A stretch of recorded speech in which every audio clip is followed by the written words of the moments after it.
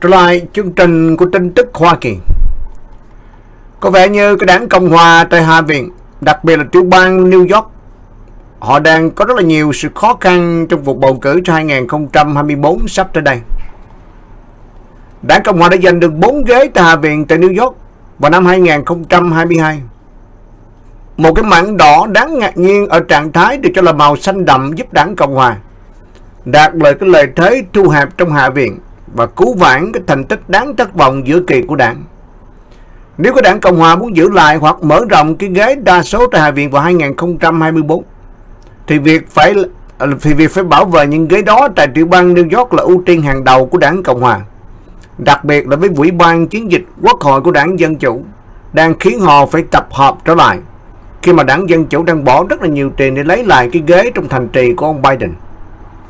Sáu đại diện của đảng Cộng Hòa tại New York đang tìm cách để tái tranh cử các khu vực quốc hội mà ông Joe Biden đã dành cho 2020. Các chiến dịch tái tranh cử Các chiến dịch tái tranh cử của họ trong năm số 7 cuộc đua Hạ viện của 2024 thuộc về đảng Dân Chủ. Một trở ngại tiềm năng khác nếu mà kháng à, nếu mà kháng cáo phán quyết tháng 6 của tòa phúc phạm New York không thành công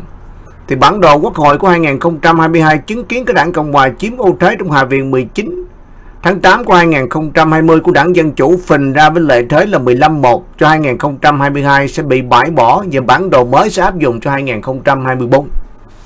Bây giờ trong thành trì của đảng Dân Chủ rất là khó khăn quý vị. Tiểu bang New York và tiểu bang California là hai thành trì của đảng Dân Chủ và chúng ta cần phải chiến đấu cho những cái ghế như tôi đã thông báo quý vị. Tranh án tòa án của New York đó là ông Wilson sẽ chủ trì một cuộc xem xét toàn diện các thách thức đối với phán quyết trong vụ hấp bình kiện Ủy ban tái phân chia khu vực độc lập của New York từ ngày 15 tháng 11 tại Buffalo. Nếu phán quyết được giữ nguyên, thì Ủy ban tái phân chia khu vực độc lập IRC của New York sẽ có cơ hội thứ hai trong việc tái thiết lập 26 khu vực bầu cử của bang. Mặc dù bất cứ điều gì trong ủy ban này gửi tới đại hội đồng do đảng Dân Chủ thống trị của tiểu bang có thể sửa đổi trên à, trên đường tới bàn làm việc của thống đốc. Tại thống đốc là thống đốc của đảng Dân Chủ. Nếu cái kháng cáo của Hoffman bị từ chối, một số nhà phân tích cho rằng cái cách IRC soạn thảo cái bản đồ và cách các nhà lập pháp điều chỉnh nó có thể cản trở triển vọng tái tranh cử cho 2024. Ít nhất là có thể đến 6 cái đại diện của quốc hội của đảng Cộng Hòa tại New York. Rất là khó khăn à, có khó khăn cái chiến trường của Long Island và thung lũng Houston. Nó gồm có những cái dân biểu như đại biểu à, dân biểu Nick à, Latola khu vực số 1 dân biểu George Santos khu vực số 3 à, dân biểu Anthony Esposito đại diện số 4 à, dân biểu Mike Lawyer đại diện số 17 dân biểu Pat Ryan đại diện số 18 dân biểu Mark Molirano đại diện số 19 Dân biểu Brandon William đại diện số 22 Việc tái bầu cử sẽ rất dễ dàng. À, hay không nó vẫn còn là một câu hỏi vô cùng lớn. Những khu vực này những thành viên của đảng Cộng Hòa họ phải đang rất là trung dung. Còn nếu không thì họ sẽ mất rất là nhiều cử tri của cái đảng độc lập ở chính giữa.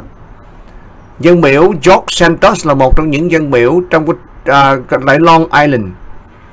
à, chúng ta sẽ tiếp tục cập nhật cái sự kiện này cho quý vị nhưng mà cái chiến trường tại New York đang trở nên khó khăn hơn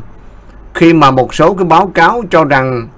là cái đảng Dân Chủ đang bỏ rất là nhiều tiền cho cái chiến trường tại New York và tiểu bang California. Người khó đương nhiệm tái đắc cử nếu không cả nước là dân biểu George Santos người phải đối mặt với cáo buộc của tiểu bang nhiều thứ khác nhau. Thì uh, chúng ta sẽ cập nhật cho quý vị trong những chương trình của cái chính trị Mỹ trong tương lai và đó là uh, bản tin uh, của Hoa Kỳ. Chào tạm biệt.